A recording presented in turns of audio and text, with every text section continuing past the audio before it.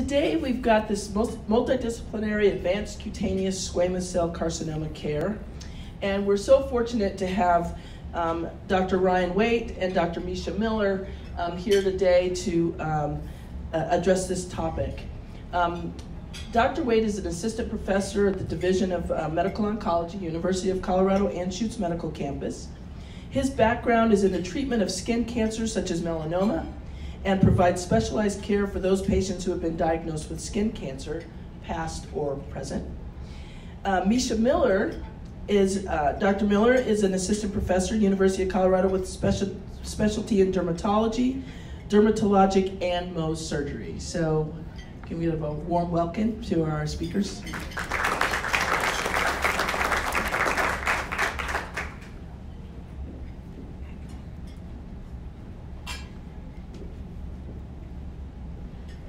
Miller, and I'm at the University of Colorado. I'm an assistant professor there.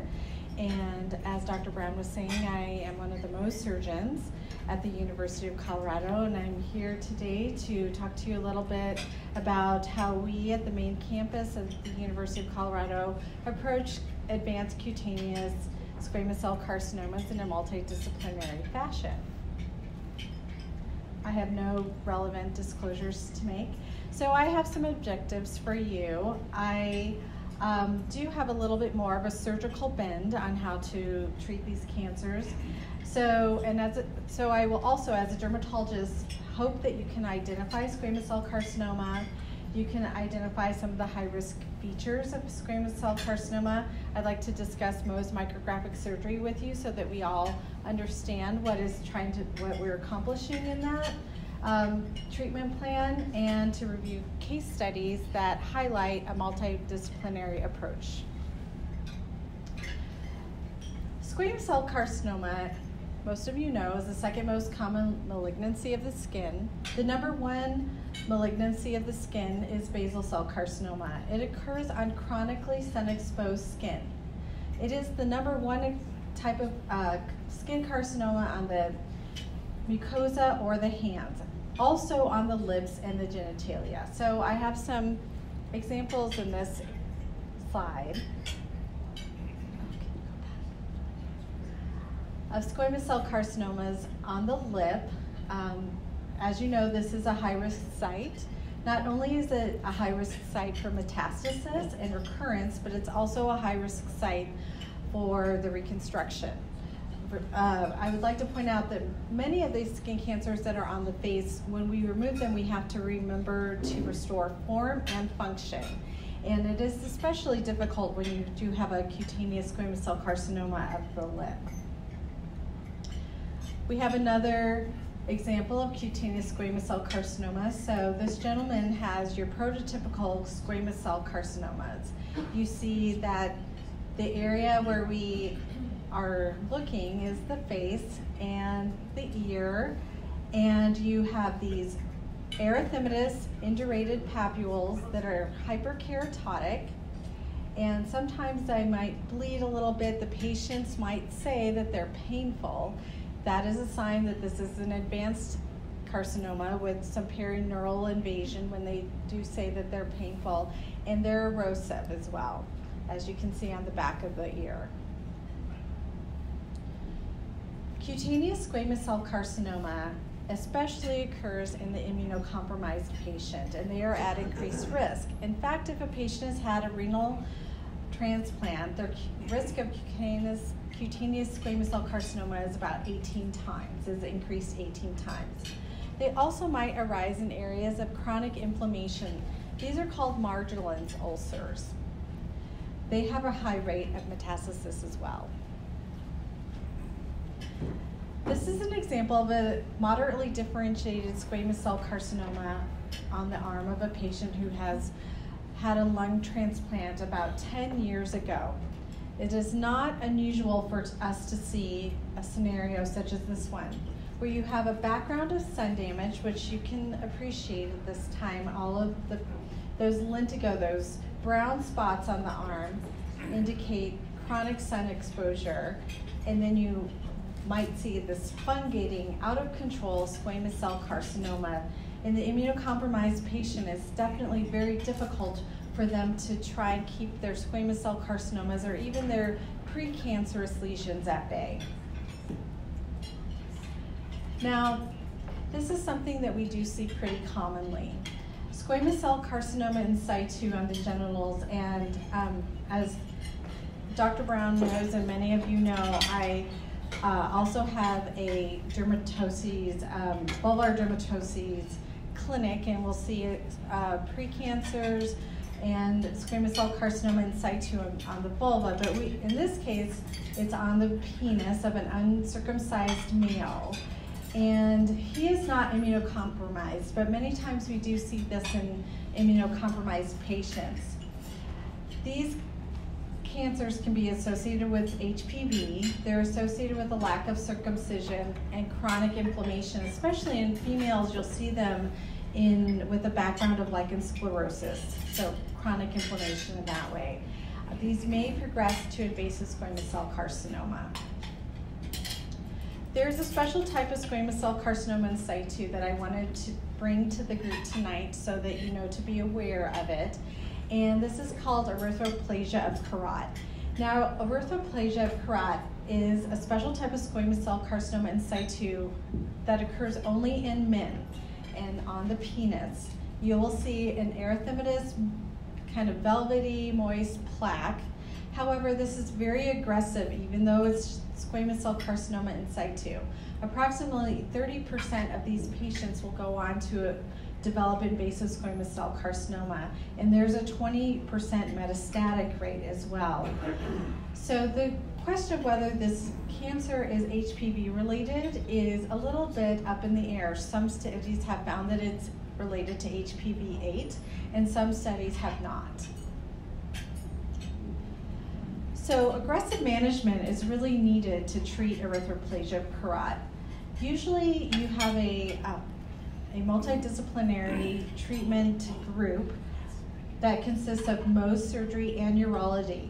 Urology. Urology because many times there is urethral involvement. Squamous cell carcinoma does have some high risk features associated with it that might make you think to, that you must be a little bit more aggressive with certain types of squamous cell carcinoma. So in terms of the histology, if a squamous cell carcinoma has a Breslow depth greater than two millimeters or Clark level greater than or equal to four, that is considered um, a high-risk squamous cell carcinoma. However, there is lack of uniformity in reporting of these measures, and so you really cannot count on them from your dermatopathologist necessarily. Other high-risk features include perineural invasion. If the diameter of the nerve is greater than 0.1 millimeter, that usually calls for you to think about adjuvant therapy, and also if there is lymphovascular invasion. Other high-risk features included tumor diameter greater than 20 millimeters, the location of the cancer being on the temple or the ear or the lip. And the temple isn't a place that has been commonly and traditionally associated with a high with a high risk squamous cell carcinoma, but recent studies do show that.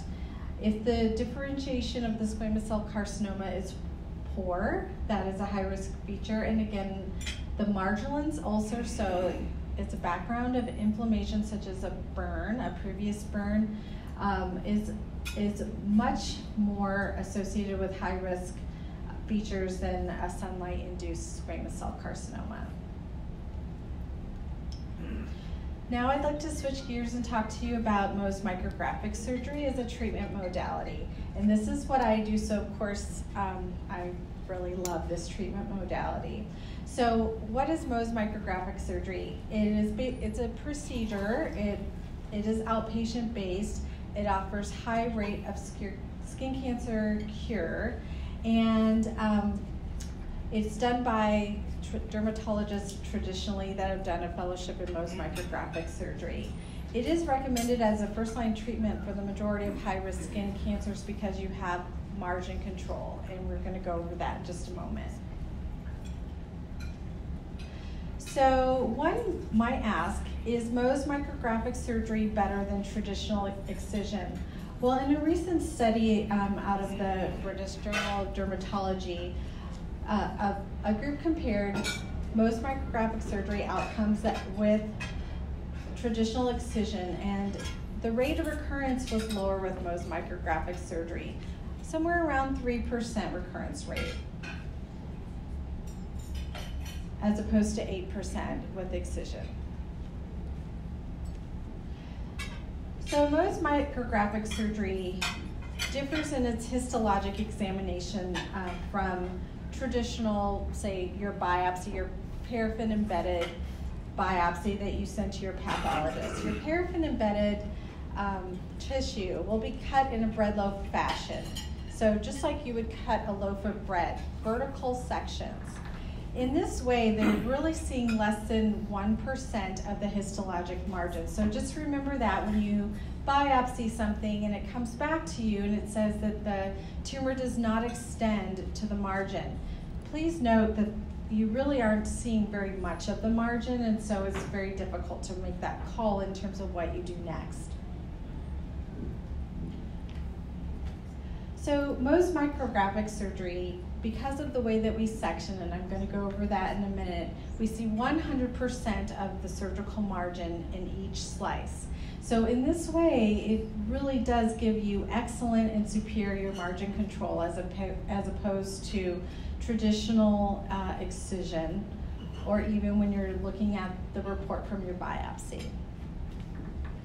Mohs micrographic surgery also allows for the sparing of normal tissue because in traditional excision, what you're doing is taking a standard of care surgical margin that you're cutting out around the tumor that you can see with your eye in order to help you get a negative margin. However, with Mohs micrographic surgery, what we're doing is taking a very thin two millimeter or so margin and examining that tissue micrographically at the time of surgery so that we can say whether the tumor is in or out. Take, so we're taking much less tissue. So I have some examples here of how the tissue in Mohs micrographic surgery is processed. So on the far left, you see that the tumor is removed uh, at a 45 degree angle. The piece of tissue then may be divided or it might stay whole depending on the characteristics of the tissue and how easy it is to make it uh, conform to sort of a flat pancake shape. The tissue is then actually flipped over um, and frozen onto what's called a chuck. The tissue is then processed en face, which means that horizontal sections are taken. With taking the tissue at a 45 degree angle out of the patient, we can make the epidermis kind of flop over on uh, to the side of the dermis, which means that then when we slice the tissue horizontally, you're seeing all of the epidermis and the dermis at the same time. Our slides look like the middle pane there. We usually have three to five pieces of tissue uh, per slide and the Mohs technician will travel approximately a thousand microns into the tissue uh, when all is said and done. On the far right pane, you see an example. This person actually has basal cell carcinoma, and but you see how you will, you can appreciate the epidermis, which is this dark purple color, and then the dermis is all of this sort of lighter pink color throughout. The epidermis is not contiguous in this picture because we have hashed the tissue with our scalpel, but the epidermis is actually um, contiguous except for that portion where we have surgically separated it. So I just wanted to show you some examples of things that we that I have seen under the microscope. These are my slides from some patients. Um, this is actually a very recent patient who has moderately differentiated squamous cell carcinoma.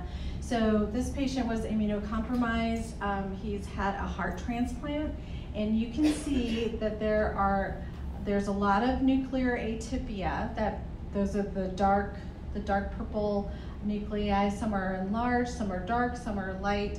You also see some mitotic figures throughout. Um, you do not see what keratinocytes usually do, which is to make keratin pearls. Um, that's one way that this is differentiated into uh, moderately differentiated squamous cell carcinoma. Next is another high-risk feature. You see intravascular cutaneous squamous cell carcinoma. So in this particular patient, I did use the multidisciplinary approach of uh, adjuvant radiation after the tumor was cleared with Mohs micrographic surgery. This patient actually did not recur, and that's great. This is an example of perineural invasion, and my purpose tonight is not to turn you into a dermatopathologists, but I just want you to appreciate that we can see these high-risk features under the microscope, sometimes a little bit more than your traditional dermatopathologist because we have many more sections to look at, as I demonstrated before. Um, so this is cutaneous squamous cell carcinoma, and this is a nerve and the cutaneous squamous cell carcinoma is tracking along the nerve. So when we see this, we want to measure the nerve because we want to know does it uh, does it qualify? Um, does it get into that 0.1 uh, millimeter or above range, or is it smaller than that? So Mohs micrographic surgery is heavily regulated, and actually we have regulated it ourselves as Mohs surgeons because at some point we knew that the insurance companies would try to regulate it for us. So there's something called the appropriate use criteria, and this is an app that you, if you're interested, you can have, get for your phone. And basically you plug in the characteristics of the cutaneous squamous cell carcinoma or basal cell carcinoma. They also have something for Merkel cell carcinoma and some of the other less usual tumors. And basically will give you a score. And the score will designate whether or not the tumor is appropriate for Mohs micrographic surgery. This is what the app looks like. It's very simple to use. Um, and the green, yellow, and red indicate the appropriateness of the procedure using Mohs micrographic surgery for that, for that tumor. So Mohs micrographic surgery is very cost effective um, and several studies have looked at the cost of Mohs micrographic surgery in comparison with a straight excision, and the costs are very similar. However, just remember you're getting so much more with Mohs micrographic surgery, especially the uh, controlling the margins. Now, Dr. Waite is going to review some of the advances in squamous cell carcinoma, cutaneous squamous cell carcinoma treatment. Thank you, Misha. Appreciate it, and I appreciate your willingness to handle the surgical uh, discussion in this talk and for agreeing to be here. And I just want to thank um, Hira from the Association of uh, Community Cancer Centers for putting this together, Nicole and Dr. Brown from the RMOS Society for having us today. And I'm going to talk a little bit more about advanced treatment or, or systemic treatment for advanced squamous cell carcinoma. Um, uh, but just to repeat what Dr. Brown said, I'm an assistant professor in the Division of Medical Oncology at the University of Colorado. Here are my disclosures. So before we talk about the systemic treatment for cutaneous squamous cell carcinoma, I think it's important to talk about how we can prevent squamous cell carcinoma. And in terms of systemic therapy, there's really only one uh, paper that we need to discuss, and that's the New England Journal paper for uh, a randomized phase three trial of nicotinamide for skin cancer chemoprevention. And so this study actually looked at uh, 386 patients that were randomized in one-to-one fashion uh, with at least two non-melanoma skin cancers in the past five years. And they were randomized to 500 milligrams of nicotinamide BID versus placebo for the prevention of additional squamous cell carcinomas. Um, and if you don't, if you aren't aware, uh, up front, nicotinamide is actually vitamin B3, uh, which is a precursor to NAD, which is uh, necessary for ATP production. And so the thought around this is that if you have UV exposure and squamous cell carcinoma is secondary to um, uh, to UV changes in the skin, there's DNA damage that occurs and a loss of ATP, and this helps to replete the deficient ATP and therefore reduces the um, incidence of, of uh, early squamous cell carcinomas. So the results from this study you can see here on the bottom left um, showed a statistically significant reduction in non-melanoma skin cancers as well as a statistically significant reduction in squamous cell carcinoma with the application of nicotinamide, and it leaned towards statistically significance or trended towards for basal cell carcinoma. Um, what's interesting about this study is that at six months or so after the treatment, that benefit was lost. So presumably patients would need to continue on this therapy to have the benefit. And then on the right side, we see that actinic keratoses were also decreased in this study for those who went on to therapy. So, uh, and Dr. Miller showed a little bit of the risk uh, and what the high risk features are, how we identify high risk cutaneous squamous cell carcinoma. But there's a couple things that I wanted to point out in terms of um, where some of these studies came from that define this risk. And so on the left, we have a study that came out in 2008 that really um, helped to define the thickness of cutaneous squamous cell carcinoma, what's high risk versus what is not. The high risk features uh, being greater than two millimeters, you see a reduction in uh, the probability of uh, distant metastasis-free survival, and then you would see with, um, uh, with, with, greater than six millimeter um, cutaneous squamous cell carcinomas, you see a further reduction. And in panel D, I just wanted to point out that it's interesting from the Brigham and Women's um, staging studies that those with primary, um, primary tumors from zero to four risk factors differentiated greatly between two and three risk factors uh, versus just one high risk feature.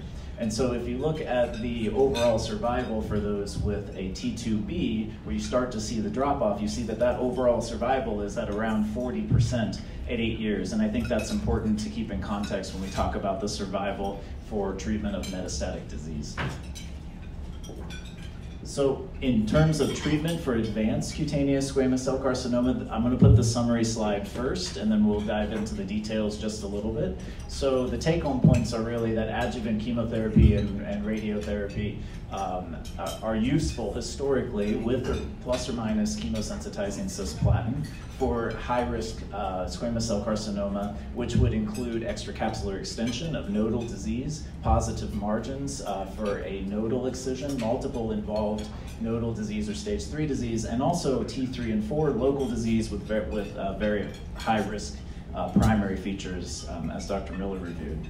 Um, however, that's really a historical perspective, and we still use multimodality therapy uh, after surgery for um, to decrease the risk of these uh, recurring in the future. However, currently we are moving more towards an anti-PD-1 model, which we're seeing move across oncology in general.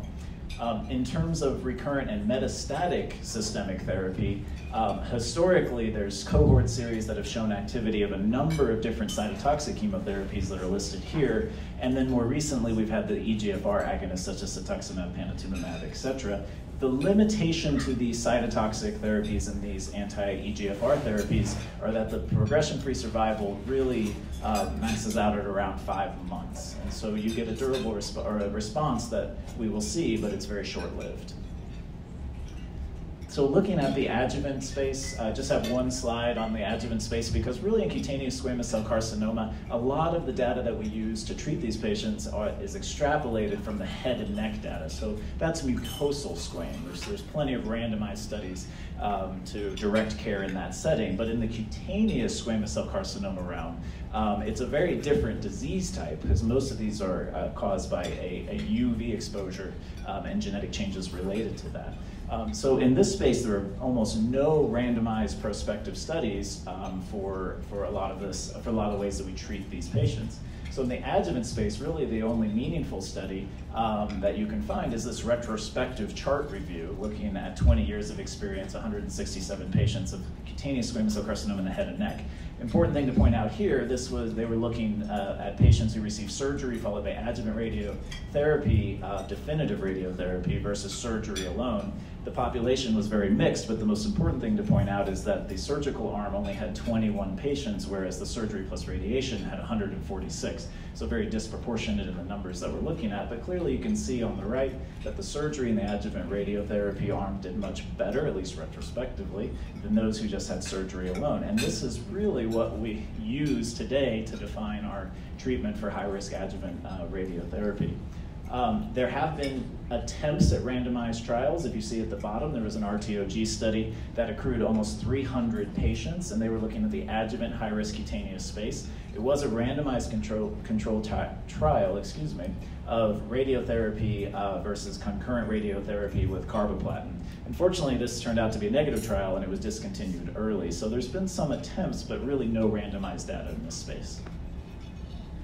When we talk about unresectable disease, now this can be stage three advanced, uh, locally advanced, or metastatic disease. Um, that's what we're referring to as unresectable. There is a, a, retrospective study that was recently published in 2016 that looked at, it was a single institution, a mix of local, regional, and metastatic disease, and it encompassed all sorts of treatments, including cetuximab, capecitabine, etc.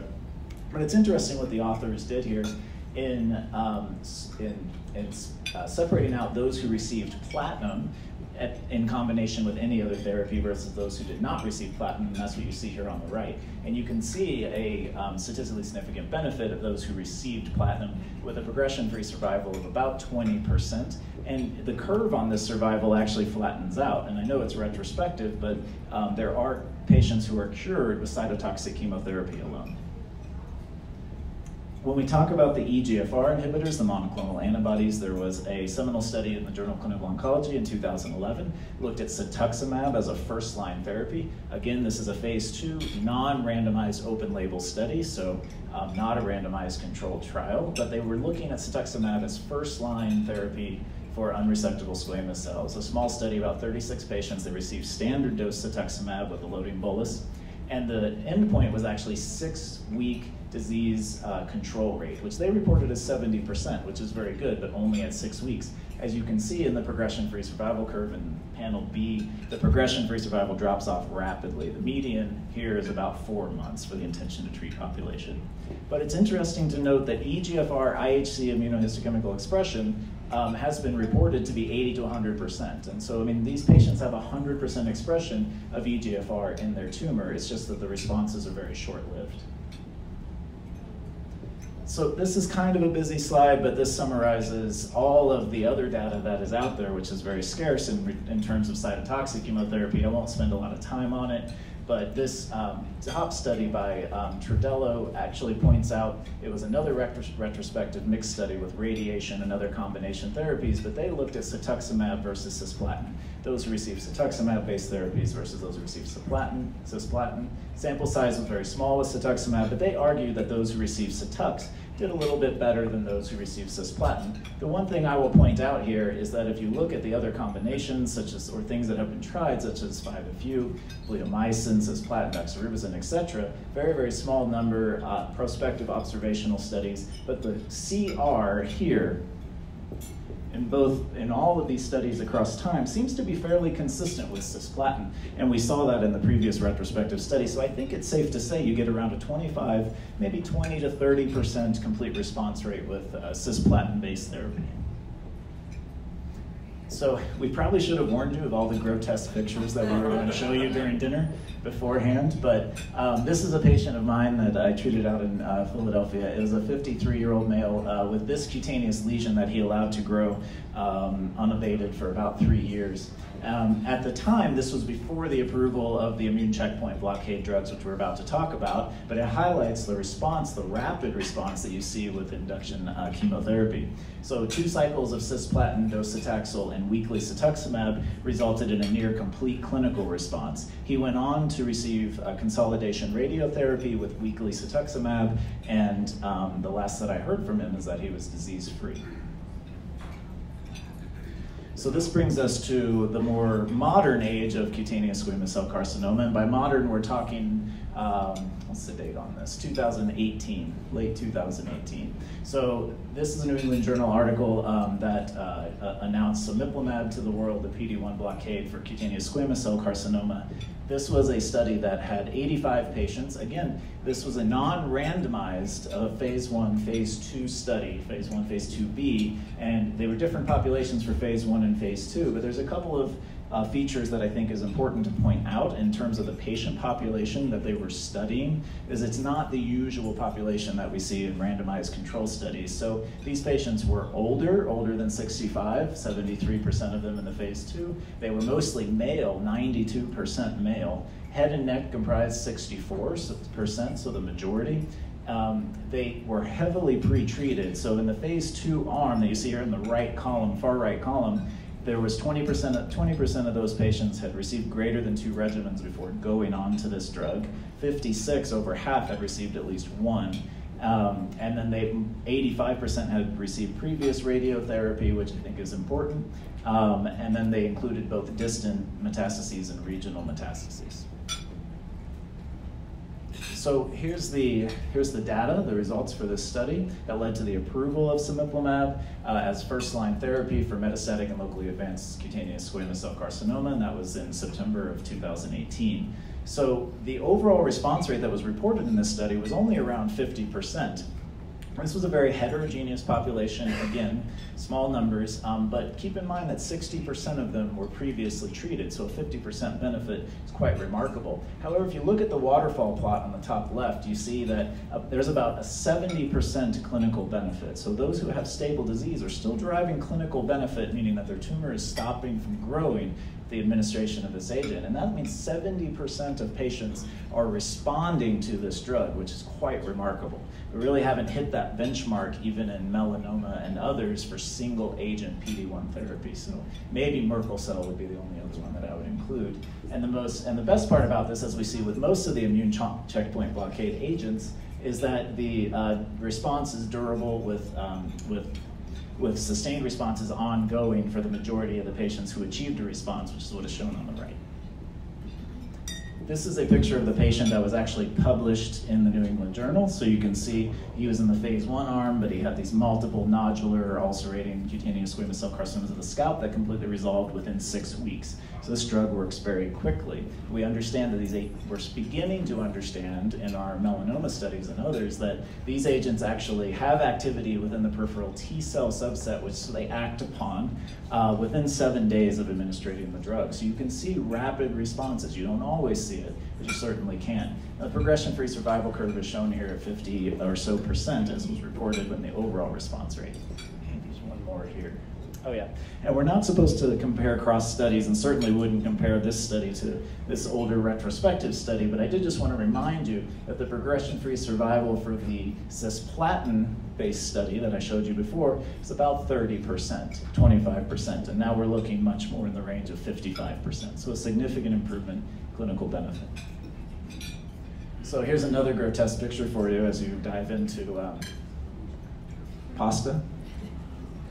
Um, so this is a, a, courtesy of Dr. Lewis. This is a, he tells me this is the first patient that he treated with um, with a PD-1 antibody or immune checkpoint blockade for locally advanced unresectable squamous cell carcinoma. So the patient started with this, and after just a couple of treatments, this was within six weeks or so, you see a dramatic change in the, uh, in the phenotype of this tumor after just a few infusions of PD-1 therapy a continued response with just uh, infusions alone. And then a complete response with, uh, with systemic therapy with, um, with an anti-PD-1 agent. So pretty, pretty remarkable. And um, I was told that he didn't require any additional radiotherapy or surgery following this systemic, this, this complete response. So this is uh, just single agent monotherapy response. So I point this out. This was a patient of mine um, that was previously treated, and this was a lady with very little, I'd say, average sun exposure for the Jersey Shore. Um, and uh, but she comes in with no nodal or regional disease. Scans were completely normal, aside from what you see on her skin. very interesting patient. I've never seen another one of these, but she had multiple uh, more locally advanced basal cell carcinomas as well as uh, early squamous cell carcinoma, Some of them are probably invasive. We just didn't biopsy them all. You can see there's more than 50 lesions involving the leg, the trunk, and other areas we didn't photograph. And this was again before the approval of the PD-1 agents, but we elected to put her onto um, nivolumab, and she had within 10 weeks or so, she had a, a, you can start, and I don't have the resolution pictures unfortunately, but she ended up having a complete response in all of her lesions to PD-1 therapy as time went on. But you can see on the panels on the right that the skin was starting to regenerate and these lesions were starting to heal with PD-1 therapy alone. The only reason that I show this is that these agents not only work for cutaneous, but can also work for mixed uh, skin subtypes, and also not only locally advanced, but sometimes you see patients that just have multiple lesions. Where if you were to uh, send them to Dr. Miller and say, "Please resect all of these," she would she would say that would be all of her skin. So we can't quite do that. Um, and same with radiation would be extraordinarily toxic. So there are various populations that can benefit from these agents and systemic therapy. So I just wanted to point out a couple of selected trials. Where is the field going in terms of systemic therapy for cutaneous squamous cell carcinoma? If you don't see your favorite trial, it's because I did self-select these, what I thought were the most interesting, but there's really not many more than this if you, if you were to look. Um, there's really a paucity of trials in this space.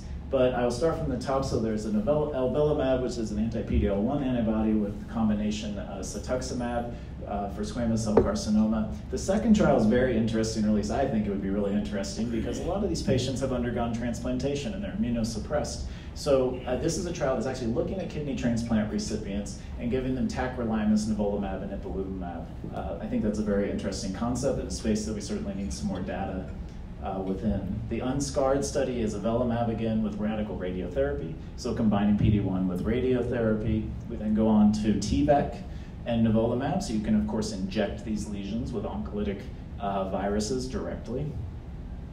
And then there's the um, anti-MAGE-A3, that's a melanoma-associated antigen. Uh, that's an adenovirus and also an oncolytic uh, compound that secretes MAGE-A3 in combination with pembrolizumab uh, for um, high-risk cutaneous squamous cell carcinoma. That's a very interesting concept. Uh, there's preoperative cemiplimab uh, administered intravenously, or I'm sorry, intralesionally, directly into the tumor. That's the, the point to take away from that is that the PD-L1 antibodies, remember, they act with the PD-L1 ligand at the site of the tumor. So in theory, you can inject these drugs directly into the tumor and they can act locally. You don't necessarily have to give it systemically that wouldn't really work for your anti-CTLA4 antibodies, which act at the site of the node, not at the site of the tumor interaction with the T cell. Um, there's an adjuvant cemiplimab study uh, with uh, after surgery and radiation, and I also put in a, a um, in combination with a modified herpes virus similar to T-VEC. And so if you're interested in, if you have some patients and you're interested in putting them on trial a little closer to home, these trials are currently enrolling uh, at the university at Anschutz. So this, neither of these were mentioned in the previous slide, but we have pembrolizumab versus placebo following surgery and radiation uh, in participants with locally advanced cutaneous uh, squamous cell carcinoma. So that's Keynote 630. That's actively enrolling. These are really high-risk patients with high-risk nodal disease who go on to receive radiation, and then they randomize to pembro or placebo. Uh, we also have a Regeneron study uh, looking at a LAG3 monoclonal antibody. It was a different type of checkpoint blockade um, in combination with cemiplimab, the anti-PD-1 monoclonal antibody, in advanced malignancies. So it's a phase one study, but it's enrolling a cutaneous squamous cell arm. And then I think we have a few multidisciplinary cases. Okay, thank you very much. So I'd like to highlight our multidisciplinary work at the University of Colorado. We have a tumor board where we have a lot of different specialties uh, represented, included, including myself um, and Dr. Mariah Brown in dermatologic surgery. We have dermatopathology, cutaneous oncology, um, radiation oncology, ENT, surgical oncology, and uh, radiology. And we all meet together once a week to discuss these tough cases And these three cases that I'm going to present to you have all had multidisciplinary care, and I'm going to highlight that in the cases. So, case number one is a 77 year old male. He's a referral from the VA. So, of course, you already know this is probably going to be a neglected tumor. Um, he has a biopsy proven well differentiated squamous cell carcinoma at the left temple, high risk site. And um, he had a CT scan which showed a question of blurring of the plane between the tumor and the frontal bone, and there was a question of invasion. So this is when he presented. So, of course, all the pictures that we're going to show you are going to be extreme examples. And this is an extreme example of a cutaneous horn that has grown from a squamous cell carcinoma. This um, is, of course, is a neglected tumor, and this is a really sad case because the patient didn't trust anyone to help him. But this is how he presented, um, and I'm not quite sure how he was able to live with such a large cutaneous horn, but he was. And also, this is a lesson in patient history because his history was that I've only had this for four months. And of course, that's not true. So this is um, the so this patient came to me and I performed Mohs micrographic surgery. Now because there was a question of bony invasion, I worked with ENT, so in conjunction with ENT, and we do this quite often, what I'll do is make sure to clear the periphery of the tumor. So when you see this border here, the, the outside ring, every, all the skin beyond that area, all that periphery is free of tumor. In this way, ENT knows that they have like a target basically. They need to clear this portion down to the deep, including the bone. So the patient went to ENT, they cleared the deep central portion of the defect, and then they burred the bone. And this is a very common thing that ENT does for treatment of squamous cell carcinomas and sometimes basal cell carcinomas that look like they've invaded the periosteum and thus might have invaded the bone as well. And we do have that scan saying that um, there's a question of the bony invasion. This patient then went to radiation oncology for adjuvant radiation for external beam radiation therapy. However, after completing one session, he was lost to follow up and did not receive any more radiation. So, case two is a 43 year old male who has biopsy proven cutaneous squamous cell carcinoma with clear cell features. It's located on his left zygomatic cheek he was sent to Mohs. I cleared the tumor in two stages and repaired the, the defect with a complex layered closure. Now you might ask, why did I include that I was able to repair this defect with a complex layered closure? A complex layered closure is just a, a pretty simple closure where you're able to bring the skin side to side. And the reason why I put that in there is so that you would all know that really this was not a big surgical defect. The tumor was not um, very widespread. So this is the gentleman right here. This is his squamous cell carcinoma. Pain on the left, your left. This was his defect. Not too big at all. Nothing that you would say is, is um, enormous or out of the normal realm. And then this was his repair. So I thought everything was fine. However, just only four months later, he represented, and I hope that you all can appreciate this, with this swelling on his left side. So he has a parotid mass right there. So the FNA team was called in clinic and came up to see him and performed an FNA, a fine needle aspiration, and it was positive for malignant cells consistent with squamous cell carcinoma. So he has metastasis to the parotid gland. So a CT scan was performed and the patient was positive for having a pulmonary nodule in addition to this parotid gland nodule. Uh, cemiplimab was started and the patient completed four cycles. The patient then, after four cycles, had a parotid resection as well as a head and neck lymph node dissection by ENT. So this was multidisciplinary in that once he was known to have a recurrence, cutaneous oncology was involved, cemiplimab was started, then ENT got involved. After the four cycles, a parotid resection was done. And this, this is very recent. In fact, his resection was done like four days ago. The pathology just came back and there was no viable tumor in the parotid gland and 29 lymph nodes were sampled and all of them were negative. So um, his medical therapy really worked. So now the question is, does should we do adjuvant radiation or not? And this patient is actually managed by uh, Teresa Medina, who's one of our cutaneous oncologists, and I need to talk with her and see what our next step is. He is getting a repeat CT for that pulmonary nodule to see if it also has responded or whether or not it's stable.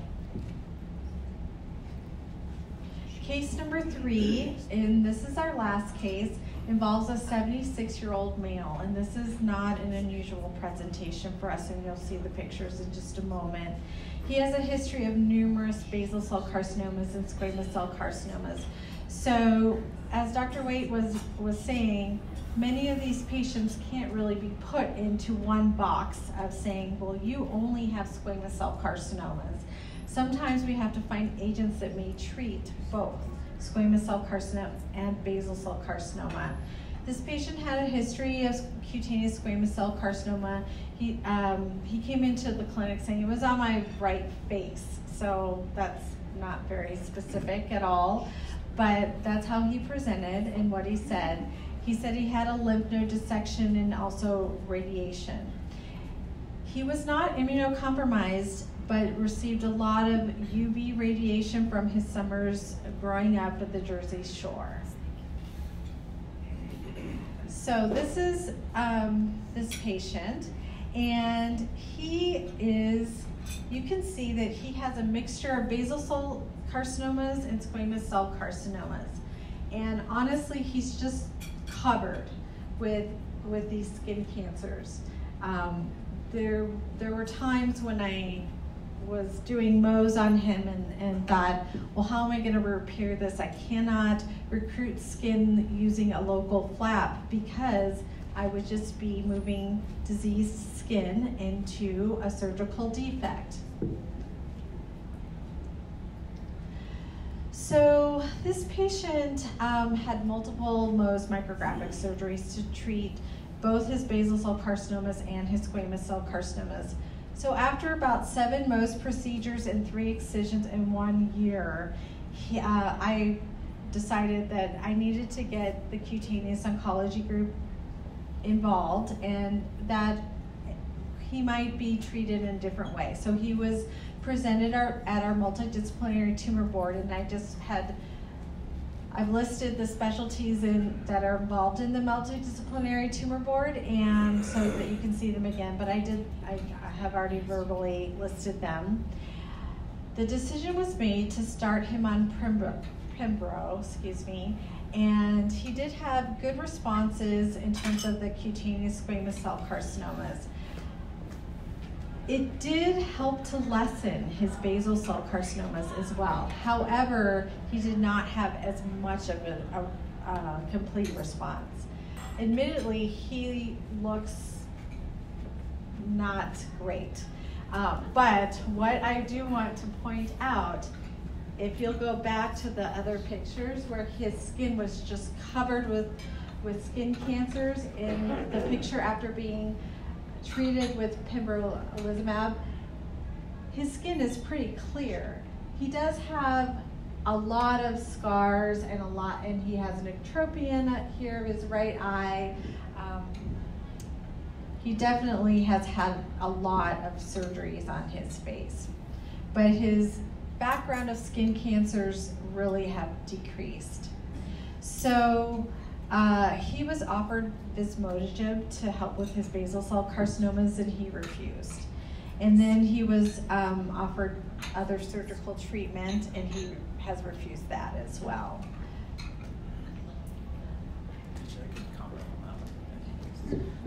So in, in, looking back at the um, case that we presented earlier with the multiple BCCs and SCCs, I, we, we noted the exact same thing, which is that the basal cell carcinomas, and that's not what this talk is about, seems to respond at both a slower rate and a lower rate than those of the cutaneous squamous cell carcinomas. However, they do respond, we just don't know what percentage of those do to anti-PD-1 systemic therapy. So when you have a patient with multiple cutaneous malignancies of different subtypes, um, you, you, can certainly consider treating with the systemic therapy, but just know that the basal cell carcinomas might require additional adjuvant consolidation uh, therapy, vismodegib, something else. Um, in fact, the one patient that I did show, the larger lesions uh, were, were kind of spot radiated uh, for the basal cells um, in order to, to get her to complete resolution. So I have a slide of, of the um, of my references and acknowledgments, and it comes later. But I just I oh thank you very much. So I do want to acknowledge uh, Dr. Teresa Medina and Dr. Karl Lewis um, in the in the cutaneous oncology group. Uh, the for helping to co-manage the patients that I've shown you in, in, my cases, and also Dr. Julie Goddard and Dr. Adam Terella and ENT for also helping to co-manage those patients. And now we are going to discuss the importance of multidisciplinary care um, as really uh, identified in the site visits um, that have been put forth by the Association of Community of uh, Cancer Centers. So the first is George Washington, and there is literature available for you to read so that you can get more information about these uh, centers of excellence. But George Washington Cancer Center um, are they are concentrating on uh, a newly developed cutaneous oncology program that consists of multidisciplinary teams led by dermatologic surgeons. They're focusing on personalized care for the patient um, so that not every patient is treated in similar man in a similar manner, and they are very heavily involved in clinical trials. At Oregon Health uh, Services University and the Knight Cancer Institute, they see a large volume of cutaneous squamous cell carcinoma patients.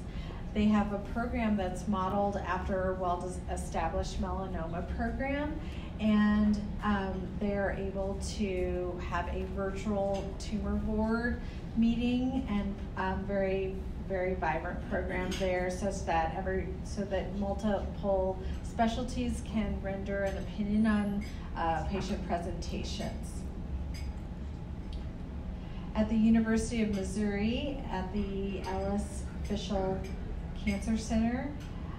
Um, they uh, work in conjunction with MD Anderson. Uh, they specialize and focus on emerging, emerging multidisciplinary care as, as well. They have a, a very vibrant teledermatology program um, that works with the, off of the ECHO platform so that they can reach those patients that do not have a lot of access to care and they also have many ongoing clinical trials.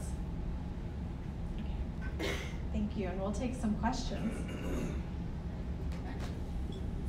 Curious, how are you guys using, uh, utilizing sentinel lymph node biopsies for uh, cutaneous squamous cells of the head and neck region? Yeah. Um, it's it's highly variable. Um, but I do believe that for most, um, well, I don't want to say for most, uh, but if there's high risk features in the primary cutaneous lesion, especially for T3, T4, without any palpable disease. Most of the time, these patients are being imaged cross-sectional imaging if they have higher risk features in their primary that we know about beforehand. Um, and in, in that particular setting, if the imaging is negative, then we uh, consider a sentinel lymph node biopsy. Um, but the, um, the, the, guidelines for, well, there aren't, aren't really any guidelines, but the um, uh, expert consensus, I suppose you could say, for who you should be considering for a sentinel lymph node biopsy would be similar to that for the high risk features of who should receive um, um, considered for adjuvant radiation. So I'm curious, like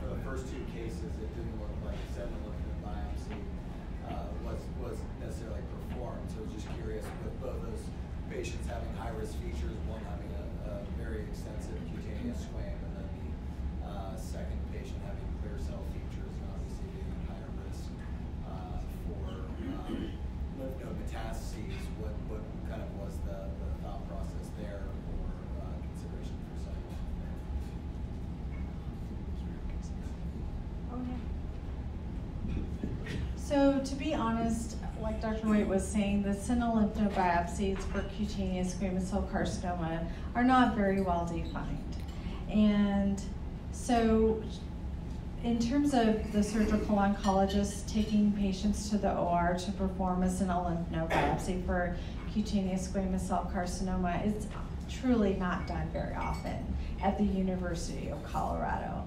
Um, you know, if there are multiple high-risk features and the size of the tumor seems to be what dictates it more. Um, they may take the patient first for a lymph node biopsy, but at the University of Colorado, it's used mostly in the setting of melanoma. And then uh, another question, just to start, uh, how are you guys managing patients with unresectable disease? For instance, someone that has, say, a cutaneous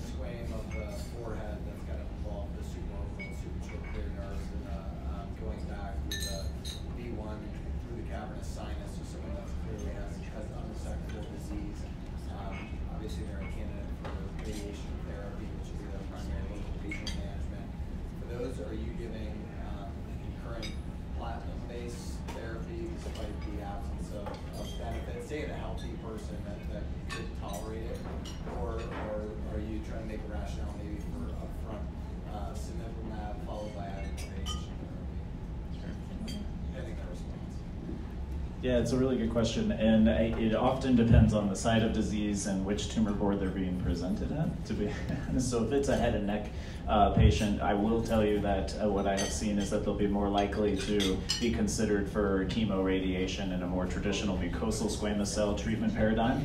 Um, but I, but we we would consider any one of those patients, and I would strongly urge this audience to consider anti-PD-1 therapy for somebody like that. Uh, you could either consider monotherapy up front and potential surgical or radiation consolidation. We also consider um, the benefit of radiation and PD-1 therapy. We know that it's safe to give radiation with PD-1 and PD-L1 agents combined. There's plenty of uh, data to show that.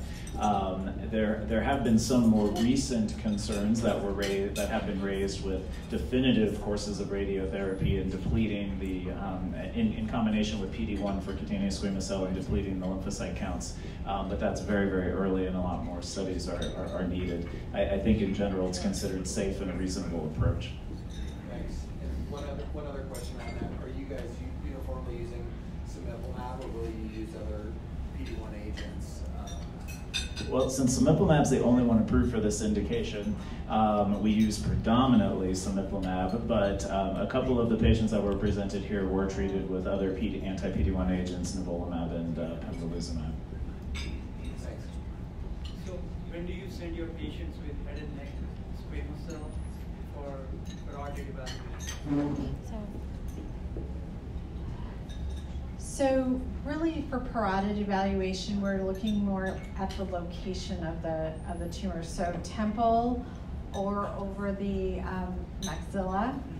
Um, those patients are going for parotid evaluation, but the first step honestly is just for us to get traditional imaging, um, CT scan with contrast and see if there's anything that needs to, that tells us that we should be suspicious of of a parotid invasion. The other thing I will tell you that is, is very nice about Mohs micrographic surgery is that I have seen many times tumor tracking into the parotid capsule and then beyond. And if I see that, then of course I'm going to ask the ENT surgeons to become involved and, and do a partial parotidectomy or, or total. Because like, you know, in NCCN guidelines, there are well-defined definitions for perineural invasion and what we would call it, and that is one of the highest features. where you Perineural. send For, on the face, if it is perineural, if it is that deep around the major nerve, we take it to central carotid, and for sentinel node biopsy also. Yeah. So would you, do you consider these features before doing Mohs? Like, Mhm. would you still do the Mohs if you find these features, or would you? No, if, if parotid invasion is um, suspected prior to Mohs, I would not do the Mohs. Perineural invasion, which is kind of what I was trying to demonstrate on my slides, is not always picked up on the biopsy. Many times it's picked up during Mohs, and so we don't, we're not aware of the per- perineural invasion prior to surgery. Just had a quick question at, at the table here. Um, as far as imaging, you talked a lot about CT. Is there any role for PET with, with what you're doing? So I personally don't order PET scans because um, they, I've been told that the patient is really only eligible for so many PET scans in a lifetime, and I do not want it to be just a maybe let's just see kind of thing. Um, so I, I don't order PET scans. I usually leave that to the cutaneous oncologist and make sure that there is a very, very good indication for it before ordering a PET scan. And, and I think a CT scan with contrast is perfectly reasonable. These are slow growing lesions over years and years, so they're usually mildly PET avid at, at best. You can pick up most anything, in my opinion, with a, with a CT scan.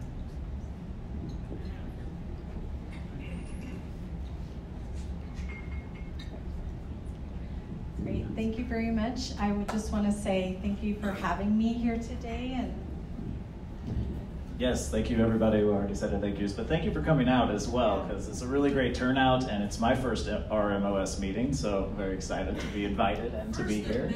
First of many, there you go. So thank you everybody.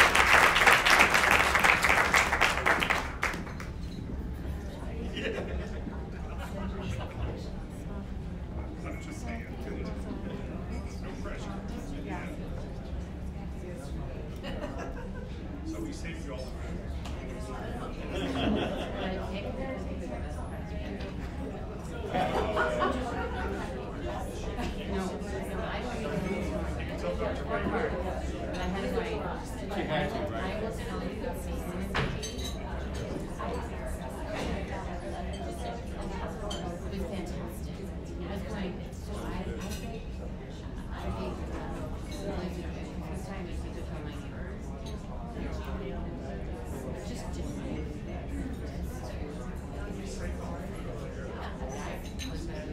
Yes, we have all of them. Yeah. Come on over here. Yeah, you bet. All right, all right. Yeah, get to that.